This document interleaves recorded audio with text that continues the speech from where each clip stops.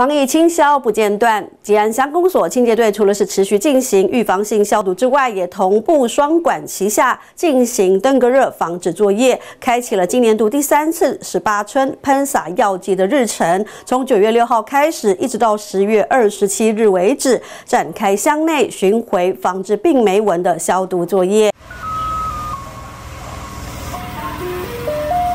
清洁队员拿着喷枪，沿着路线针对路边的花圃、水沟等易积水处来进行消毒。这是吉安乡公所九月六号开始，一直到十月二十七号，在全乡十八个村展开的巡回式防治病媒蚊的消毒作业。九月六号开始，一直到十月二十七日，是吉安乡进行第三次防治登革热的工作，请我们乡亲携手跟。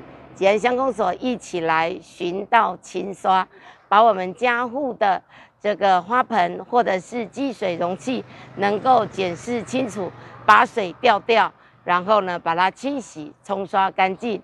我们看到平常如果是抬高式的这样的消毒工作，就是我们防治疫情做清消；如果看到我们针对于地面水沟铺面，就是为我们的。防治登革热来作为一个消毒，消毒工作不能停，双管齐下。我们一起来做。吉乡各村将依序进行为期两天的喷洒药剂日程。如果当天遇到下雨，会安排在全乡喷洒完毕之后再另行施作。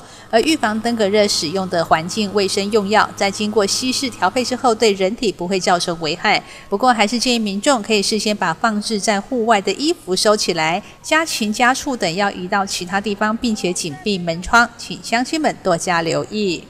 据徐立群吉安乡报道。